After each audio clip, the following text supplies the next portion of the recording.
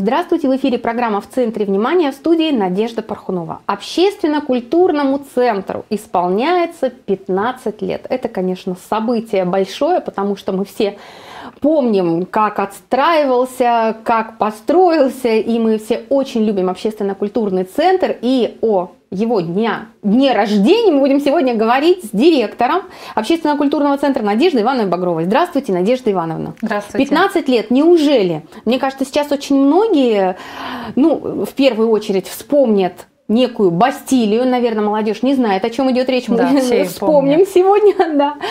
А мы все вдруг подумаем, ничего себе, уже 15 лет. Ведь это же уже срок для такого центра. Ну, подросток уже. Подросток. Да, 15 лет, как будто бы вчера это было.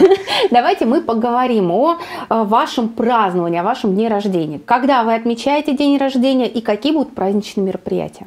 А, наша дата это 14 декабря. А, официально общественно-культурный центр открылся 14 декабря 2007 года.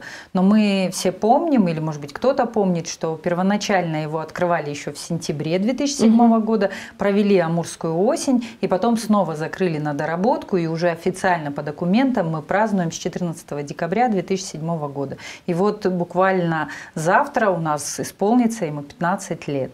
То есть это... общественно-культурный центр – это масса мероприятий, которые проходят на нашей территории, но и самое главное, что это не только один ОКЦ, это не только здание ОКЦ, это а, множественные структурные подразделения, которые за эти 15 лет мы приросли. Это и лагерь Гагарина, и парк дружбы, и филиалы, и Харбин, и Меридиан. То есть вот мы такими большими стали Но это уже. же и коллективы, Надежда Ивановна. Я представляю, Да. что наверняка ребята, которые туда приходили еще совсем детьми, танцевать, заниматься театральным искусством, заниматься самыми разными э, другими творческими делами, сейчас уже выросли и могут также отмечать этот день рождения, потому что это их родное место, где они себя Да, показывали, реализовывали. уже стали, уже детей своих приводят Вот к нам в ОКЦ, что сами занимались, теперь уже детишек приводят.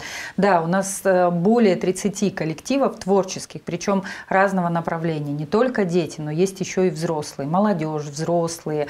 А, Есть 55 плюс у нас э, коллективы, которые тоже приходят в ОКЦ, занимаются и потом показывают на сцене то, что они научились. Это танцуют прекрасно, поют. То есть, ну, жизнь такая кипит в ОКЦ. У нас сейчас каждый квадратный метр задействован, потому В что ну, да? да, строго все по расписанию. Од- Одно ушло, второе мероприятие пришло, третье, потому что в год у нас проходит ну, где-то более 600 мероприятий. Причем самых разных. Мы можем вспомнить в этом году Разных, и да. театр Вахтангова. Да, Мы можем вспомнить, театр когда-то раньше там проходили Амурский экспофорум. Э, ну, просто такая огромная история. Но давайте вот Торжественные мероприятия, Торжественные, концерты, всегда. спектакли, детские елки, утренники, свадьбы. То есть это все многое проходит сейчас в ОКЦ. И если говорить э, о том, что за этим всем стоят люди, то есть вот чтобы... Коллектив. Конечно, это коллектив, и у нас достаточно такой работоспособный коллектив, потому что люди, которые хотят вечером отдохнуть, мы работаем, на следующее утро Мгм. кто-то проводит мероприятие, мы работаем, в праздничные дни идут мероприятия, мы снова работаем, и так каждый день. У нас такое небольшое затишье только в летний период времени, но мы все переключаемся на замечательный лагерь Гагарина, где Да. у нас дети тоже благодаря творчеству, творческим сменам э, развиваются и приезжают к нам с удовольствием в лагерь Гагарина. Ну, давайте мы подведем, если можно так это выразиться, некие такие ну, итоги или шутливые, может быть, не шутливые, может быть, э, осмыслить как-то. Какие бы вы назвали самые значимые мероприятия за эти пять лет, которые проходили в общественно-культурном центре? Может быть, не сколько значимые для вот э, какого-то, для области, да, или там для страны, а вот именно для вас, или, может быть, самые яркие. Вот что бы вы выделили? А, Вы знаете, мы начинаем свой сезон, всегда осенний сезон, только с одного мероприятия. Это Амурская осень. И вот для нас это событие. Ну и для Благовещенской, для Амурской области это событие. И очень радостно, что ежегодно она проходит в общественно-культурном центре. Постоянно что-то новое, что-то интересное. И все с нетерпением ждут Амурской осени. И мы стараемся что-то новое сделать, там приготовиться. Все. Наш концертный сезон открывается именно с Амурской осени. Вот для нас это очень важное мероприятие. Был какой-то сезон Амурской осени, который вам особенно запомнился, и вы вот вспоминаете запоминаете как некий пример, вот чтобы не хуже, как вот тогда? Вы знаете, ну самый запоминающийся это, наверное, театр Вахтангова. В То этом году, это, да. В этом году это такое событие, потому что, ну вот э, каждый, кто побывал на спектаклях театра Вахтангова, да, понимает, что вот в Москве, когда ты бываешь, да, ну, наверное, не всегда ты пойдешь, даже ценовая политика, максимальный Даже не всегда стоил, можно да, достать билет да, даже билет ты не театр. достанешь. И, конечно же, здесь для вот всего Благовещенска это событие, а для нас какое-то событие. Мы так с нетерпением ждали эти спектакли, мы переживали, что мы не сможем э, ну, предо- да? смонтировать, Мгм. организовать, размонтировать, но мы все смогли, и в ночь работали, и днем, и вечером. Ну, то есть все, все получилось, и самое главное, это зритель остался довольным. Вот Зритель остался в восторге. Я просто могу Да, да. за себя сказать, за своих друзей, потому что когда ты видишь, что привезли декорации, такие огромные, красивые, когда мы смотрим э, полнометражный спектакль э, с декорациями, с актерами, с массовками, ну это, конечно, ну да, да. Это, это огромное событие, это огромная работа, и приехать со столькими декорациями, в, скажем так, на Дальний Восток, и только для Благовещенска, это, конечно, очень круто. И принять такое, это Да, тоже очень да, почетно. да. Надежда Ивановна, хорошо.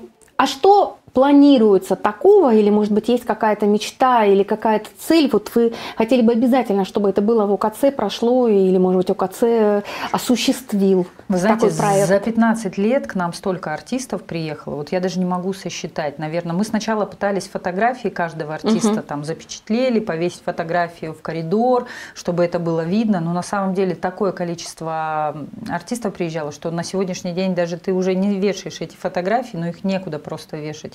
Более 100, может, более 200, э, ну, очень много. И на сегодняшний день сказать, вот кого бы мы хотели видеть, ну, я даже не знаю, наверное, кого. Мы каждому Может быть, какие-то спектакли вы бы А, хотели, ну, чтобы... Спектаклей в этом году принять? очень, ну, вернее, спектаклей очень много приезжает. Антреприза приезжает, вот такие большие театры Мгм. приезжают. К нам приезжают э, звезды мирового уровня, приезжали ранее, да, там. Для нас событие было, когда Хворостовский приехал, это тоже он был именно в общественно-культурном центре, его концерт был.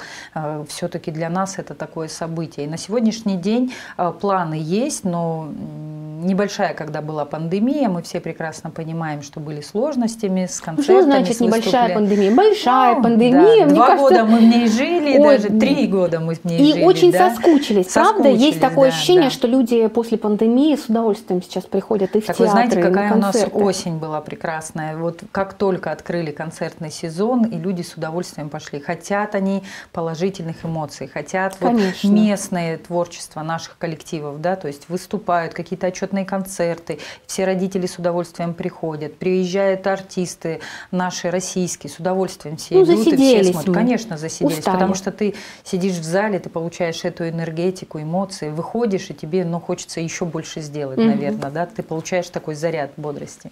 Надежда Ивановна, ну, существует ОКЦ, стоит на таком легендарном месте, когда-то это место и недостройку эту называли Бастилия. Наверняка есть сейчас в нынешнем ОКЦ какие-то свои тайны, привидения, приметы, может быть, какие-то такие места э, с энергетикой специфической. Вот Ну. давайте, откройте. Вот мне кажется, это есть в любом месте, где собирается такое огромное количество людей с такой энергетикой, самой разной, творческой.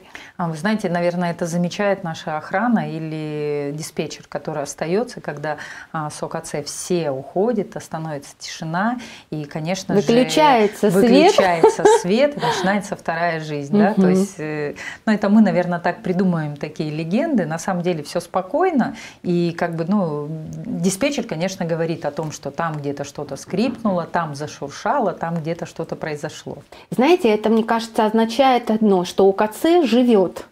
И я желаю... 24 часа в 24 сутки, часа да. в сутки, абсолютно точно. И я желаю вам, чтобы следующие 15, 30, 45 лет ОКЦ только прирастал новыми коллективами, талантами, самыми интересными постановками, спектаклей или, может быть, э, какими-то феерическими концертами. Надежда Ивановна, Спасибо. спасибо вам большое, что вы к нам пришли.